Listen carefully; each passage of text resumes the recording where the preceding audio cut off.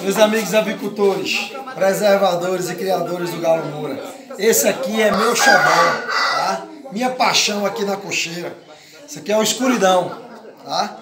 Uma ave com sete apresentações, quatro delas em 2018 como frango, em eventos intermediários, e três ano passado. Enfrentou Cocheira Leão do Norte, é, Mega Mix, Mega Sena e Esparta de Caruaru. Então, são sete apresentações, sete vitórias. É minha paixão. É o galo que a gente tá na cria agora, tá?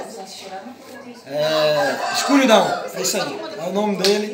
Estamos cruzando ele aí, vamos ver quais são os resultados que vão dar, tá? Começamos, iniciamos ele na cruz agora. E eu tenho muita fé, muita fé nessa área. Porque ele preenche as características que eu gosto. Rema, né? rema 80%, rebate mesmo. Rebate. Boca boa e sabe usar as armas. Tá? Quem enfrentou ele sabe o que eu estou dizendo.